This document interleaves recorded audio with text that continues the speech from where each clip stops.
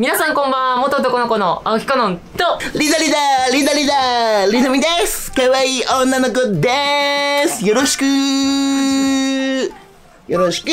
お願いします。カノンちゃんよろしくちょっと待って、私がこれしっかりしないといけないんだな、今回。やばい。今日ですね、私が気になった方にインタビューしていくっていう企画なんですけども、はいこちらの方はですね、リダミさんっていう方で、はい大食いをそうですねやられてる YouTuber さん。ぶちかましっていうチャンネルでやってます吉本芸人さんなんですよね。はいそうです。はい。今回ですね、なぜ私がリダミさんをこちらに呼んだかというと、以前私、そのリダミさんの生配信見てたんですよ。はいその時に、恋愛感情ないけど、でも性欲やばくて、男性とか女性と関係なしに、いろいろやってきたんですよっていうはい発言を私聞いた時に、はい私もまあこんな感じで、まあ男から性別を女に変えてっていう感じで、まあ、はいいろんな方を見てきたんですけども、はいちょっと興味深いなっていうことを思ったんで、今日いろいろとですね、禁断の質問とかさせていただきたいなと思います。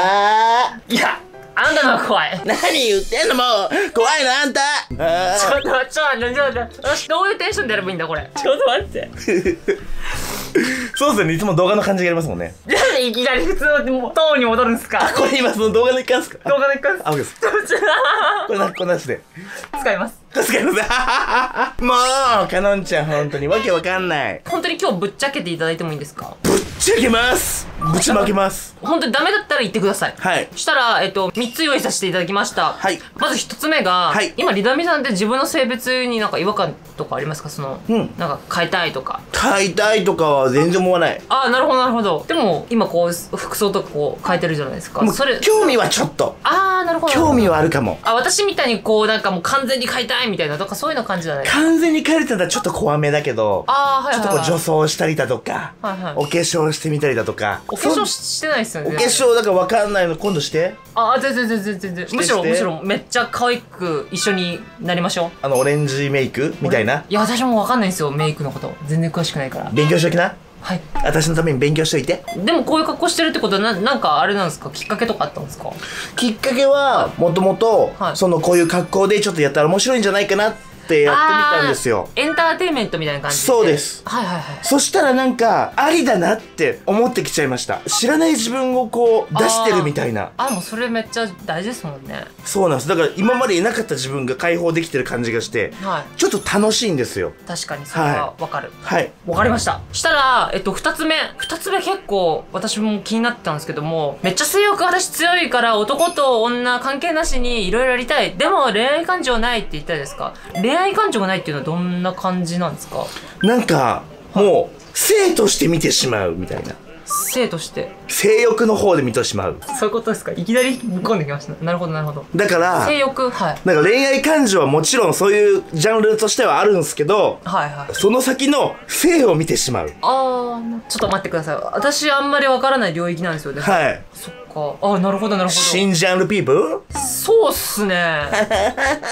ちょっとおっぱい強調しすぎ。あ、でもなんかそれって別に完全理解しなくていいのかなと思ってて。はいっていうのも、私もその普通の友達って言っていいのかわかんないですけど、はい私は性別変えてるじゃないですか。だからはい自分の性別に違和感感じたからなんか変えたみたいな感じじゃないですか。はいでもその友達に、え、今自分で生きてて、性別を男から女に変えてとかっていう感情ないの？って言うと、いや、ないよ、みたいな。むしろ逆にカノンちゃんのその変えたいという心理がわかんないから、だから、すごいよね、みたいな。だから、そんな感覚ですかね。そうですねなんか自分が他の人とどうなのかわかんないんですけどもうこれが自分なんだなってどっかで思いました、ああ、なるほど、なるほど。今までお付き合いしてきた方って、はい。男性と女性だとどのくらいの割合で？もうこんな感じだったんだ自分に気づくまではもう女性とお付き合いしかしてなくて。あ、はいはい。であこんな感じだったら自分で気づいてからは、はい。もう男性と性行為。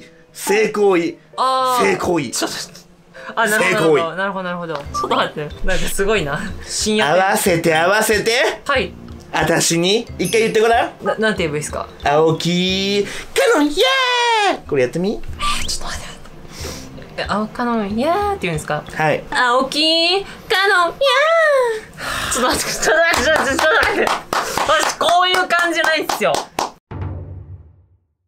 だから、ら別に個性だよねってことですよね。そうです。け結果も個性です。結果これが個性ですよね私です。恋愛感情なくても別に性欲があればいいよみたいな。はい。それで別にだって自分が苦しいってわけでもないですもんね。そうなんです。むしろちょっと解放してあーなるほどもう自分らしく生きれてるぐらいの感じですね。あそれだったらまあそうですよね。はい。もうちょっと踏み込んで聞いてみていいですか？ぶちまけます。じゃあ3つ目の質問いきます。今までどういう方と関係を持ってきましたか？はい。そうなる前は、はい普通の女性の方。もう一般女性の方、はい。他と変わらない感じだったんですけど、はい。そう気づいてからはこうちょっと男の方に興味持ち始めてあ、はい。そこから3人。行かさせていただきました。なるほど、なるほど。でそれで1人目の方が、はい。ガリガリのはい。背の高いはい。おじさま、ガリガリの背の高い茶髪のおじさまはい。はい、2人目が、はい。フィリピンと日本のハーフのちょっとぽっちゃりとした顔は生瀬勝久さんにのおじさまはいはいはい。おじさま多いっすね。おじさまのみですね。おじさまノミネートです。おじさまノミネートです。じゃあ、3人目。3人目がはい。60代ぐらいの。白髪混じりのおじさま。これ3人目です。おじさまオンパレードで。おじさまオンパレードノミネートです。今おいくつでしたっけ？28ですですよね。あ同い年です。もどうやって指名するんですか？指名するき場所ってなんかあるんですか？まあ言ったらちょっとこうアプリとかであー、なるほど、なるほど。はい。どんな人がいるかなーってこうなんとなくプロフィールを聞きながら風俗とかではなくて、おじさまそうですね。が働いてる風俗じゃなくて、はい、はい、普通のそういう男性がいあのたくさんいるアプリで。ちなみにそのこういう関係を持とうとしたそのきっかけって何だったんですか？もともとははい。ちょっとノリみたいな感じで。もう僕も私も僕もって今知りましたよ。私も、はい。私もはい。もともとは普通の感じだったんで,、はい。でそこからちょっとどうなのかなっていう興味本位から始まりましたね。ああそういうことか、はい。で興味本位から始まって、はい。で行ってみたらあいいやんっていう。いやーでもなんか初めてかもしれない。なんか私のその周りの方では恋愛感情も性欲もないっていう方だったら結構いたんですよ。はい。自分の中でのそのなんかあんまり明確になってないみたいな、まあそれでいいんじゃねみたいな感じで言う子たちは結構いたんですよ。男女関係なし。に、はい。でも性欲めっちゃ強い。でも別に恋愛とか興味ないみたいな感じ。でっていう感じの人はあんまり聞いたことなかったんですよ。私のはい。周りでは、うん。でもそれもしかしたら普通かもしれないし結構いっぱいいるかもしれないそうですね。いやなんかすごい楽しかったですいろいろ聞けて。楽しかった？私も楽しかった。かのんちゃんありがとう。この後もちょっとなんか遊ぼうよ え、なにどういうことどういうのにこれ？やばいえちょっと待って。今回ですね、リダミさんにいろいろ話聞いたんですけども、はい。あの、リダミさんとは別の名前で活動してる名前が、えっと、リーダー田中さん。リーダー田中です。はい。メインがむしろそっちなんですよね。そうですね。はい。ぜひですね、あの今回出ていただいたリダミさんのチャンネルのその、ぶちかましチャンネルさんのリンクは画面の下にありますので、そちらをぜひチェックしてください。はいよろしくお願いします。本当に青木かのんしか勝たん。